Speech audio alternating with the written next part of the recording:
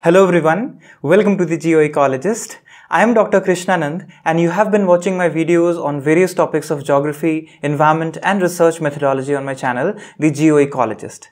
So, in today's session on settlement geography, we are going to talk about a very interesting concept of rural-urban fringe. The concept, the theories and various contributions of different scholars and several terminologies related to the rural-urban fringe we are going to discuss in today's session and also at the end we are going to talk about the methods to delineate the rural-urban fringe as well. So, watch the video till the end and before we go ahead, don't forget to subscribe to our channel and do share the videos with others others as well.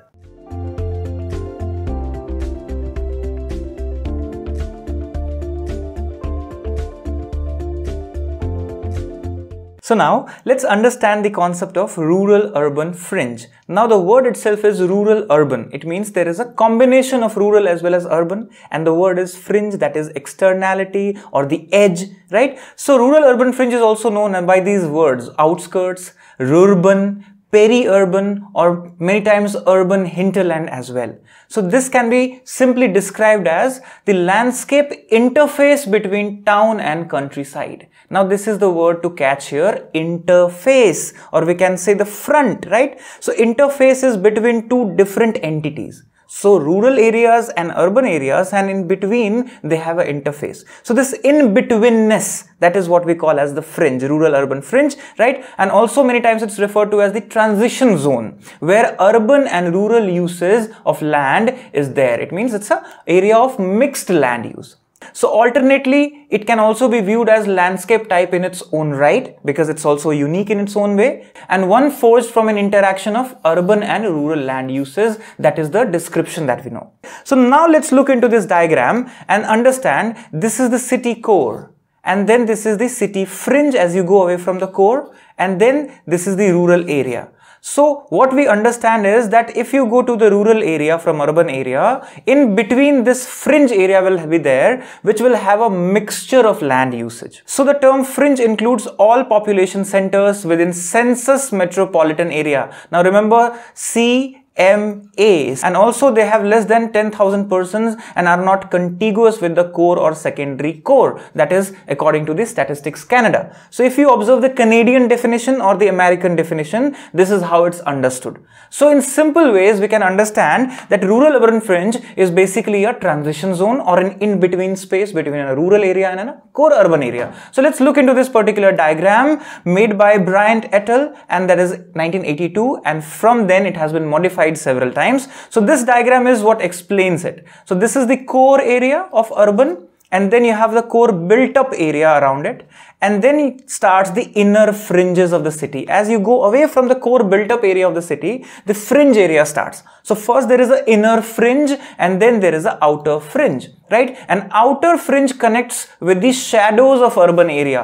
The word urban shadow is also prominently used at many places where you just have the impressions of some kinds of urban services. It's not urban, but some services are related to the urban. So it's a shadow right? And then you have the rural hinterland, which is completely rural. So this area is in between area of the core urban area, core rural area and in between space right in simple way so what do you understand the fringe the word itself the term used to denote an area or line of limit between rural and urban areas and it can also be understood as a encroachment or you can say urban sprawl of urban land into rural land. Now this urban sprawl is a very important phenomena as the urbanization takes up the world. Urban area starts to expand and starts to eat away the nearby lands right? So nearby lands are rural in category.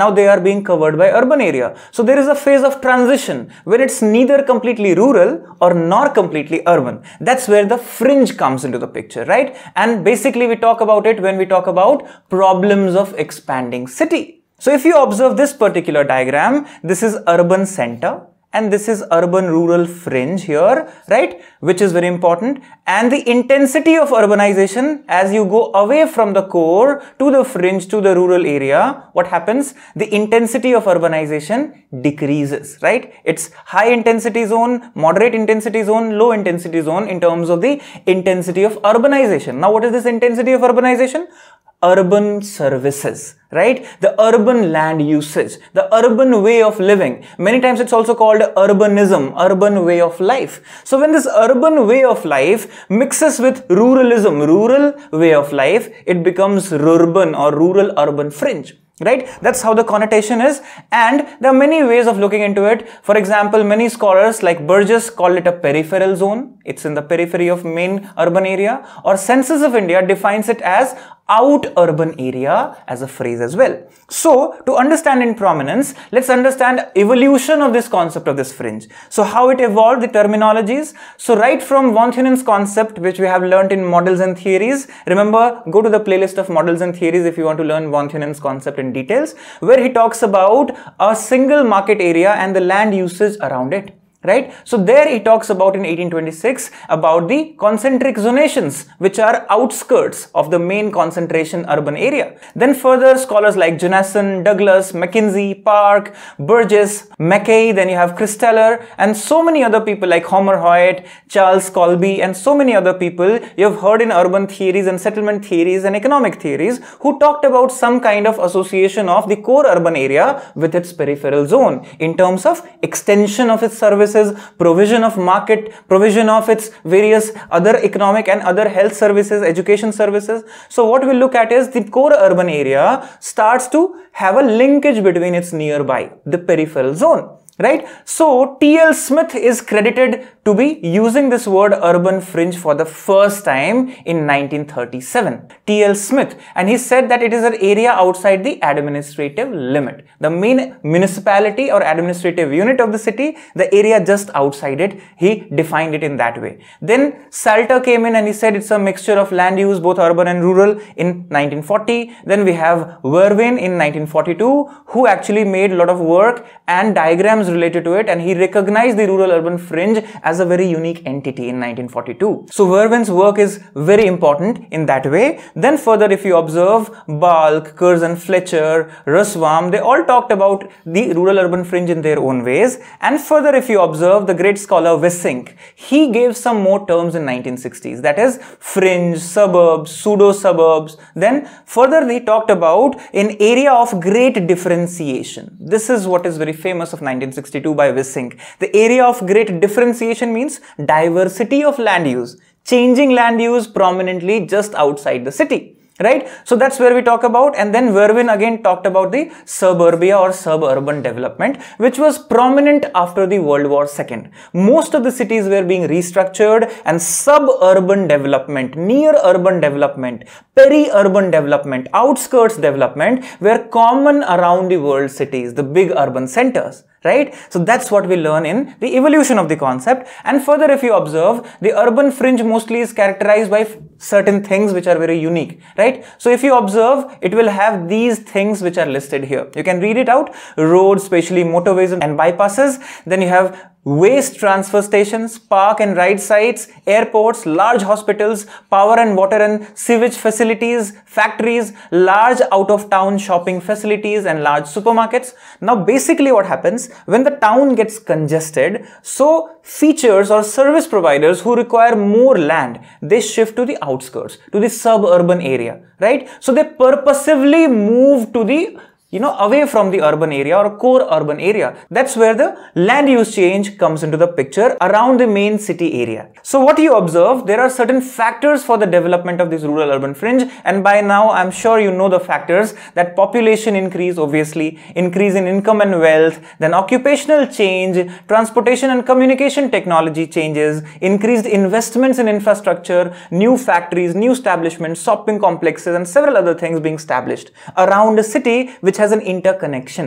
And if you remember in India, the metropolitan cities alongside highways and their connectivity with the satellite towns or nearby suburban areas, it's very important in today's world right? Now the metro services are coming across the peri-urban areas. So what you observe, there are different kinds of factors that we need to know. So growth of rural-urban fringe, apart from these five factors, can be grouped into two separate themes. Like one is called external factors and one is internal factors. The list is here. You can pause the video and you can read it, the list of same factors in different ways. So internal factors are the factors within the core area of the city that leads to its expansion and external is the outskirt factors. So increasing cost of land in the core area, environmental degradation, congestion, all those things lead to expansion and what is there in the outskirt? In outskirt, commuters zone is there where people every day go to the main city and they come back. So commuting facility, development of transport corridors, right? And low cost of land, free municipal taxes, environmental stability, all those things are very prominent in the outskirts of the city. It means it's an attraction right? For people who want to get settled outside the main city, they want to get decongested, it's very important. So these are the two factors, if you say internal and external factors, which are the driving factors in that way. Then further, if you observe, what are the various types? So rural urban fringe has majorly been described as being two types. One is called primary urban fringe. If you observe the primary urban fringe is the belt that touches outer administrative limit, which we say inner fringe which is in close proximity or connectivity with the main administrative boundary of the city, right? And many times Myers and Beegle and other scholars have called it a true fringe or inner fringe by Whiteland.